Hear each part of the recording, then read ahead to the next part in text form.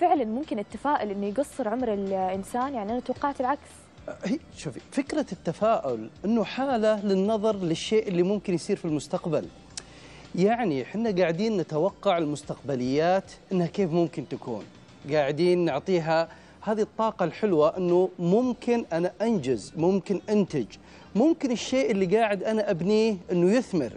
أبنائي اللي أنا قاعد أربيهم أنا بكون متفائل جدا إني بلقى النتيجة بكرة. المشروع اللي قاعد أستثمر فيه الآن حاط في بالي أو متفائل إنه بكرة بينتج علي استثمارات جيدة. فلذلك فكرة التفاؤل كفكرة هي حالة مستقبلية لقراءة المستقبل. لذلك أيضا لو حنا من البداية قاعدين نحط لأنفسنا عقبات وتشاؤمات ومعيقات مش حننجز. حنتعطل. أصلا لن نفكر بطريقة سليمة وصحيحة للمستقبل. بنعطل الحاضر وسيتعطل المستقبل. فقد يكون التفاؤل. هو يعني حيلة ذكية حيلة محمودة حيلة نفسية رائعة لمحاولة العيش بشكل صحيح.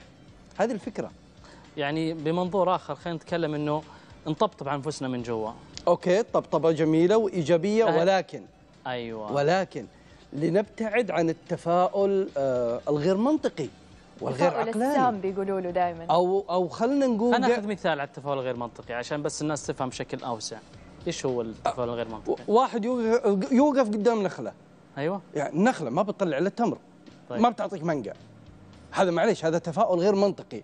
مو يقعد الواحد يقعد يقول لي أنا والله آه، ابني آه، أبغاه يطلع طبيب. طيب ابنك مستواه الدراسي جيد جيد جدا. يعني نقنن بالتفاؤل. فنكون واقعيين نكون منطقيين نكون عقلانيين. ثلاثة أشياء مهمة لازم تحكم نظرتنا للمستقبل. علشان لا نرفع سقف توقعاتنا ونتفاجأ. بالحقيقة. هنا هنا المصيبة. بعض الناس يا أخي الكريم لما يجي يحط أهداف مستقبلية طموحات للمستقبل ويتفاجأ أنه ولا شيء منها تم. صح. لن يتم لأنك أنت مب- مبالغ مبالغ جدا. يعني هذا إفراط في التفاؤل. أوكي إحنا لن نروح للتشاؤم كإفراط في التشاؤم إنه لا يمكن أن يكون شيء صح. يجيك واحد يقول لك الغلاء أنا لا يمكن أجمع أنا لا يمكن أسوي أنا لا يمكن. لا أوكي. يعني ما هي كذا مو الحياة ليست يا أبيض يا أسود. ترى الأبيض والأسود في الحياة يمثل لنا 10% 10% صحيح. عندنا 80% في الوسط قاعدين نقدر نعيشها وفقا لإمكانياتنا وفقا لقدراتنا وفقا لمحدداتنا في الحياة.